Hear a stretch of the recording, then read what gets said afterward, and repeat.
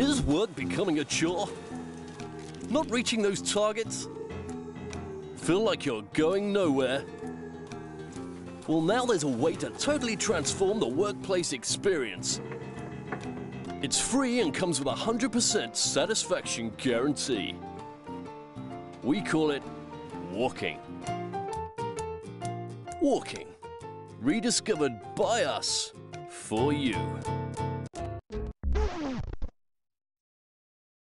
Physical activity while you're at work has lots of benefits, but we're not going to use a quirky ad campaign to tell you what they are.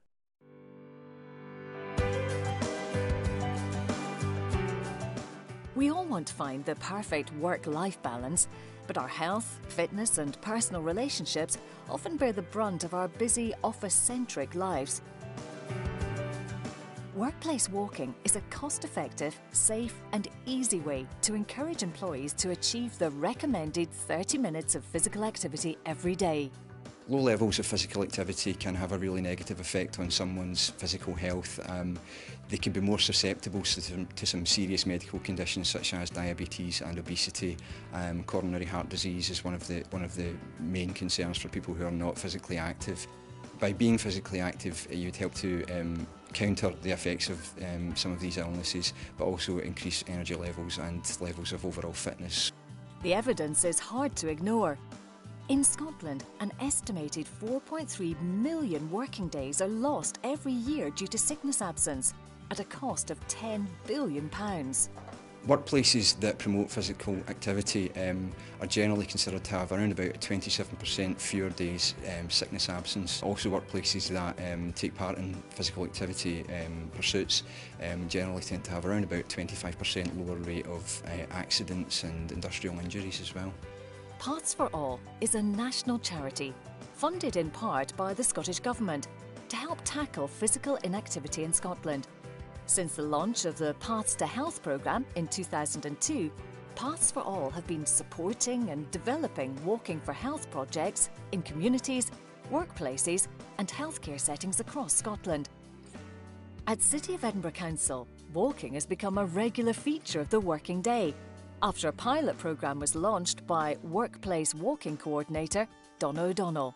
I saw an advert from Paths to Health um, advertising walk leaders um, courses, which I thought was quite interesting because I'm very much into walking myself.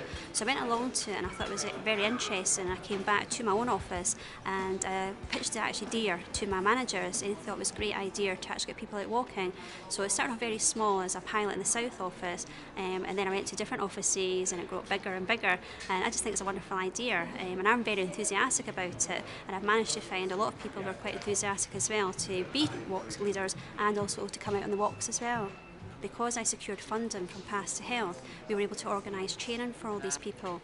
So once I trained three or four staff from each office, we then went and did like a launch and we then got people to sign up um, staff to come out walking all the time. So that's how we implemented it. We did one office at a time, and I've now got 12 offices now taking part. We get like a lot of tremendous support from our senior management. They were so overwhelmed by the actual response from the staff of this and how much they liked it that they've actually endorsed the recommendation to include walking in the workplace as part of our physical activities strand. So that's been quite sort of encouraging as well. What we do is we actually have people in each office, three or four people who are the walk leaders, and it's their responsibility to actually send out an email 10 minutes before or go around everybody and say, right, we're all going out for a walk. And because people feel as though they're not having to actually make the effort themselves. They just have to get up, put their coat on, and follow someone, and that person will take them on a walk, which would last roughly about 30 minutes or 15, depending how they feel. We've actually trained 32 walk leaders. We've got the 12 walking groups, and because they go out two, maybe three, four times per week with about 10 to 20 people going, we actually worked out about 350 staff out walking in a week which I think is actually quite an amazing um, percentage of staff to go out all the time and it can only get better. I just thought it sounded like a really exciting initiative. I, I like going walking anyway and this seemed like an opportunity to meet some colleagues uh, and to get out on a systematic basis once or twice a month. I think the organisation gets benefits from it and uh, individually we all do as well. You get to chat to people who you wouldn't normally talk to. You've seen them in and about your office and you know who they are, but you don't actually get to talk about things other than work.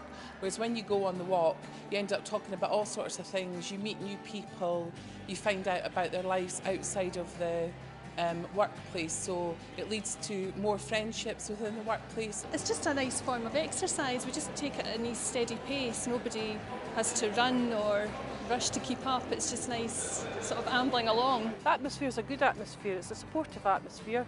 If somebody's got a problem of bad meeting or something, you get out there, get it off your chest for half an hour, back to the office, new woman. Okay, so I'm going to ask you all, who here thinks they do enough physical activity? Paths for All have developed two training courses to allow you to plan and deliver led walks from the workplace. The Workplace Walk Organiser course focuses much more on the, the marketing and communication side. So, how you actually go about setting up your project, who to involve, how you market that, that project across the workplace. Uh, we do look at the, the, the benefits of workplace walking schemes within that as well. The Workplace Walk Leader course focuses much more on individuals um, being confident in ability to lead health walks uh, and on a daily basis. So, it, it focuses on route planning, risk assessment and also qualities of being a, an effective walk leader and, and also we, we, we try and throughout that course motivate individuals to, to be effective walk leaders. Drinks company Diageo is committed to improving the health and well-being of its workforce and has introduced its own workplace walking initiative. The Great Diageo Walking Challenge is a virtual route round the whole of our sites in Global Supply Scotland. We have a total of 33 teams um, all round the whole of Scotland that have uh, participated. There's five people in each team. Um, every Monday, the team leader um, of that group phones in the step count from all their team. I calculate the steps and every week I produce a leader table for everyone to know where they are in the challenge and whereabouts they are in the routes. Employees throughout the company are now feeling the benefits of workplace walking. Walking's um, a thing that I like to do. I've done a lot of walking um, and for charity um, and to keep fit. Um, but it's something I like doing. And when the walking challenge came up, I thought, right, I'm going to go for this and I'm going to put a team in. I can walk further now than what I ever could. Uh, and I think doing it in a group, you get more motivated because they're motivated and they motivate you. And then when we do the walkers walk, we meet other teams, so we have a wee bit of chat and walk and whatever. So it's good that way. It's a good socialising thing, I think, as well. Good team building. I've spoke to a few folk and they've actually started doing the walk with us now. You know, it's um, just and then, then we're talking about how many steps and it's a wee challenge to see how many steps other folks done. The town centre to me is Paisley, it's about half an hour. I walk there and back now, whereas before I would jump the bus not, but a lot of times I walk. There's a park about 10 minutes away from me. I go there, go up and down the hills and all that, so I think I've really get quite obsessed about it. You work long hours, you don't get a lot of work-life balance in your life. Uh, and for me, this challenge has brought some of that back into my life. Um, I walk with my husband in the evenings and I take my grandchildren out at the weekend, so I'm getting to spend a lot more time with my family that I wouldn't otherwise do at the moment. Diageo received a Paths for All grant that covered the cost of pedometers to help the workforce monitor their progress. The pedometer is it's like part of my jewellery now, my makeup. I have it on at all times. I never forget to wear it. I check it all the time and I tend to, uh, if I, I'm walking any distance, I check to see how many steps it's taken. Pedometer packs can be purchased from Paths for All. They're designed to complement the lunchtime walks and encourage more independent walking. Paths for All can also provide a range of promotional resources to organisations who are starting workplace walking projects. The website www.workplacewalking.org.uk contains extensive information to help projects get started. The promotion of workplace walking can also contribute towards achieving a Healthy Working Lives Award. Healthy Working Lives is an award programme that's set up uh, specifically for workplaces in Scotland. Um, workplaces large and small can get involved and it's basically an award scheme that can um, help companies highlight um, physical activity, healthy eating, mental health um, to their staff.